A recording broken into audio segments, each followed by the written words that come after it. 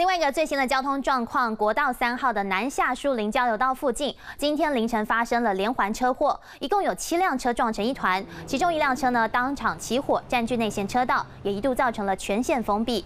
那么这个画面上呢，七辆的肇事轿车车头车尾几乎是全毁，其中起火的轿车车身也被烧得面目全非。而根据现场的民众表示呢，当时疑似是有路过的车辆看见了这辆车起火，就减速停下，不过却被后方的货车追撞。才造成了七车连环撞的意外。